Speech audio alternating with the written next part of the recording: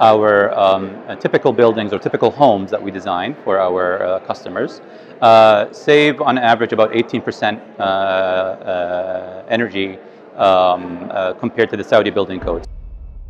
So obviously, it's very important for us uh, to, to be uh, to keep uh, keep abreast of what is happening uh, on the global uh, uh, scene.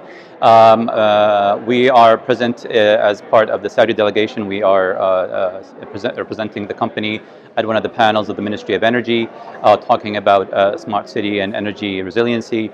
Um, that is, a, a, like I mentioned earlier, it's, it's, an important thing for us. We, we, all, we build communities within existing cities, so, so our integration is important. Um, uh, in addition to scouting and understanding what's happening with trends and peers and, and, and vendors and suppliers, and also being uh, uh, abreast of, of uh, what the uh, trends are moving forward, specifically when it comes to uh, decarbonization and, and also financing of those, those efforts. Um, what we're trying to do is, is increase that. Uh, uh, to 40, 50% uh, through energy efficiency measures. Now, technically, to get there, it's, it's, it's feasible. Uh, financially is where we need to get a bit uh, more innovative. So we know uh, today that, that we can get there if we have unlimited amounts of money, but obviously that cascades to the end user.